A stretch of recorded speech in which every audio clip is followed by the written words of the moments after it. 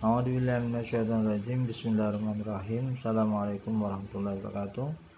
Alhamdulillahillazi Arsala rasulahu bil huda wa dinil haq lidhirahu ala dini kulli wa kafa billahi syahida. Segala puji bagi Allah yang telah mengutus Rasulnya yaitu Muhammad sallallahu alaihi wasallam. Dengan hidayah dengan Al-Qur'an. Bil huda wa dinil haq. Dengan hmm, bil huda dengan petunjuk Allah. Wa dinil haq. Dan agama yang benar yaitu Islam. Liyudhhirahu 'ala din kullih.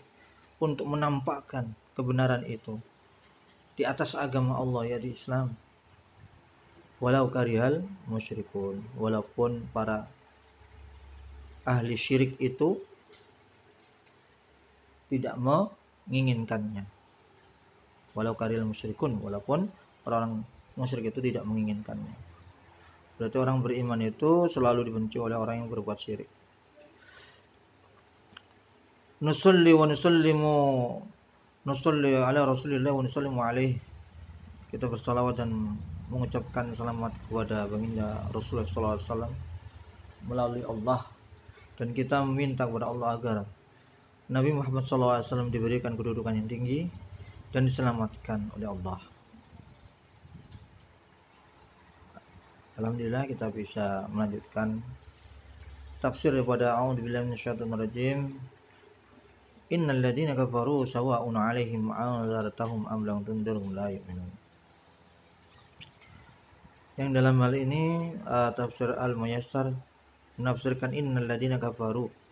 Innal ladina kafaru ditafsirkan di dalam tafsir al muyassar innal ladina jahadu.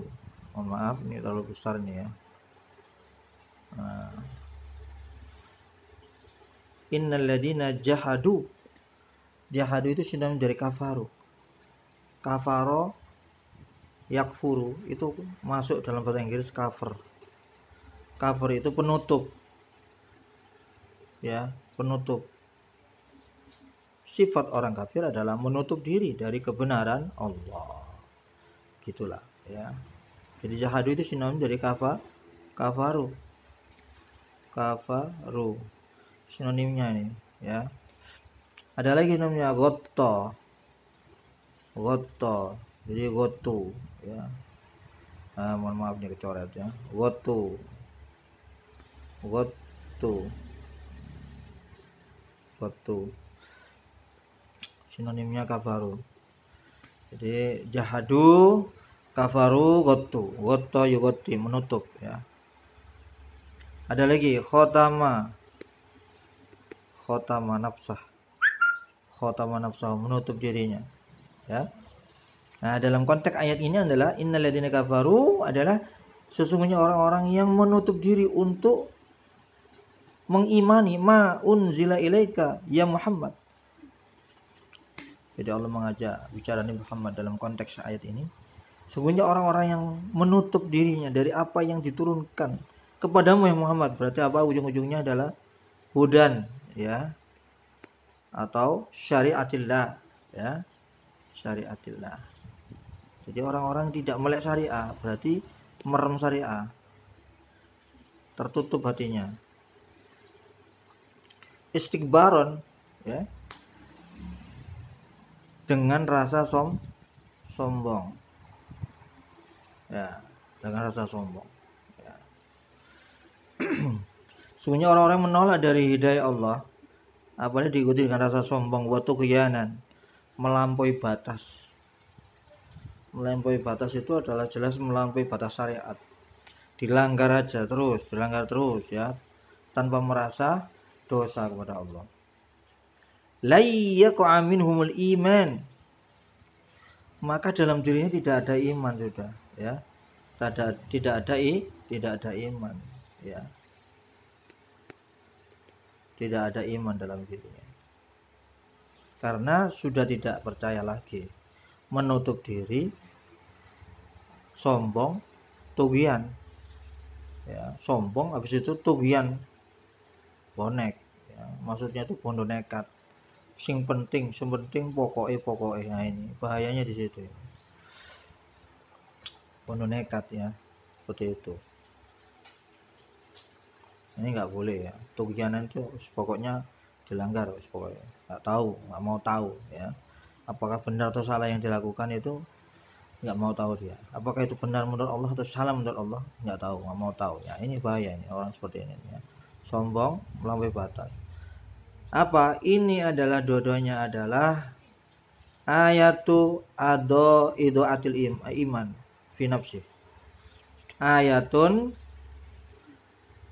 ayatu ido atil iman. Ido atil i iman.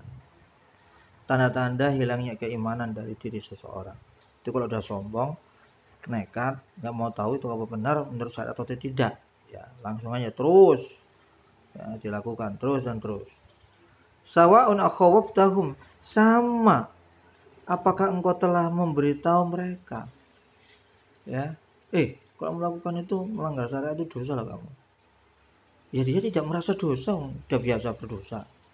Tidak akan pernah merasa orang yang udah sering berbuat dosa itu tidak akan merasa dosa. Ya terus terus ya masuk dalam istidraj Allah. Istidraj Allah. Istidraj. Istidraj itu apa? Istidrajun. Itu adalah dalam masa ditangguhkan oleh Allah azabnya. Ya terus no terus no. Gitu ya ibaratnya seperti itu. Ibarat layangan itu di luar terus. Ibarat layang-layang itu diapakan ibarat layang-layang itu di terus karena diterpa angin dia terus ya dilur dilur terus ya. Seperti itu ibarat layang-layang. Mau dibilang dari yang mudah-mudahan kita merasa ketika diistidrot oleh Allah ya dibiarkan oleh Allah ya. Nggak dirikan sama Allah ya. Itu tanda tanya kita mau diadab oleh Allah dibilang dari apakah engkau beri kabar sesuatu yang tidak harus kamu lakukan itu sebetulnya? Kan gitu ya ahadartahum ataukah engkau memberi peringatan kepada mereka? Ya.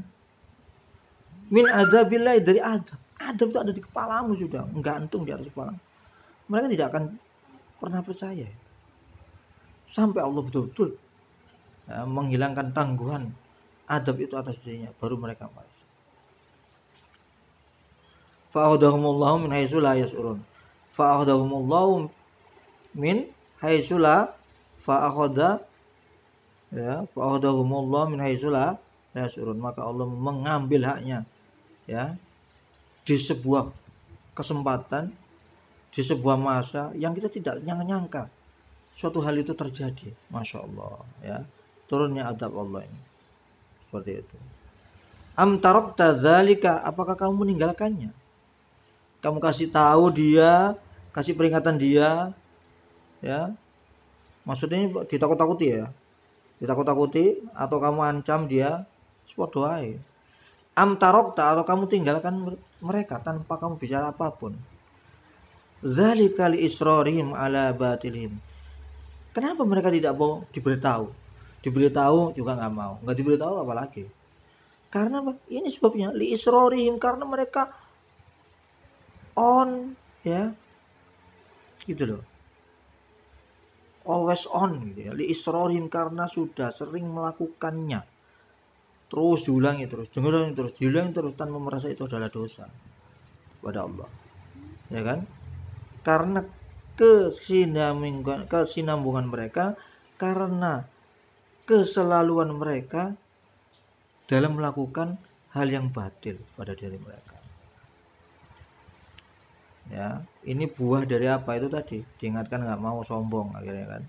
Sombong ini istiqbaron waktu kianan ini. Penyakitnya akhirnya apa? Akhirnya ini tadi karena sudah terbiasa berbuat dosa sulit dikasih tahu itu. Ya sulit dikasih tahu. Nah bilang dalik mudah-mudahan kita tidak termasuk orang-orang yang demikian. Dan kita mudah-mudahan selalu dikasih oleh Allah selalu diberi peringatan oleh Allah begitu melalui mimpi ya keteguhan hati, mudah memilih mana yang baik dan buruk, mana yang hak dan batil menurut Allah. Itu adalah merupakan sama ketika kita diberi hikmah oleh Allah. hikmah dari sebuah masalah, hikmah dari suatu peristiwa, hikmah dari suatu cobaan. Karena Allah berfirman dalam Al-Quran, "Wa yu'tal hikmata faqad utiya khairan katsira." Barang siapa yang diberi hikmah dari sebuah peristiwa, maka sesungguhnya dia itu sama dengan diberikan oleh Allah sesuatu yang baik dan banyak. Faqad utiya khairan kasih katsira.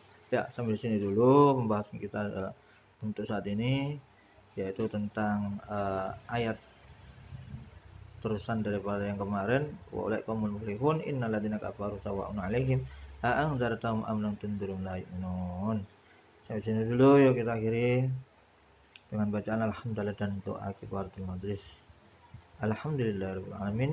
سبحانك اللهم وبحمدك أشهد أن لا إله إلا أنت أستغفرك وأتوب إليك.